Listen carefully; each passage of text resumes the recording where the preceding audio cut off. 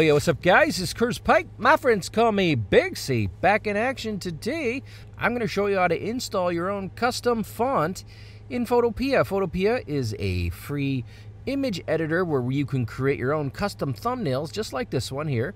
Uh, and this one I'm doing a, a giveaway for a game called Wounded and I don't like the font. And the reason why is it's an indie survival horror game and this font doesn't scream indie survival horror. So what do I do? I'm going to go to DaFont. This is one of many websites, but this is a simple one I'll show you how to use. It doesn't have to be from this website, but it's just nice and easy. I'm going to go there, and then I'm going to look at the bottom here, and I'm going to see an option for horror. I'm going to click on that horror, and when I'm here, I get to see a whole bunch of different, you know, unique looking, scary horror type fonts. And I don't know, let's go with uh, something like Help Me. This looks like a fun one.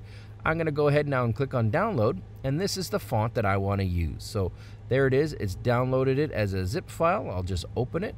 So I'll show it in Finder and then I'll just move it to my documents folder. And when I'm in there, I'm going to double click on it and presto, we get a pretty cool looking font. There it is. It's a .ttf as you can see. And now we're going to go ahead and install it into Photopea. It's very simple to do. Head on back to Photopea and now double click on the font or the word, pardon me, that you want to change. In this case, it's the word wounded. And you'll see here that I've got Bebas Neue uh, selected by default here, but I don't want that one. So I click on that and I'm going to click on load font. And when I do that, uh, it's got my other fonts here. I'm going to go ahead back to documents.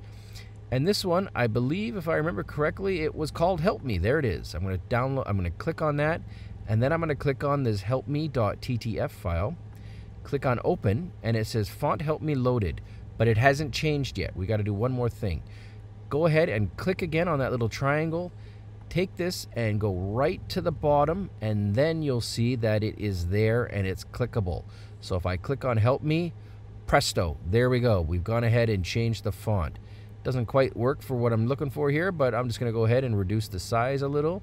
And there we go. We've got wounded. It's yeah it's not bad that, however, is how you create your own custom font and use it inside Photopea. Thanks for watching. Ton more stuff coming up.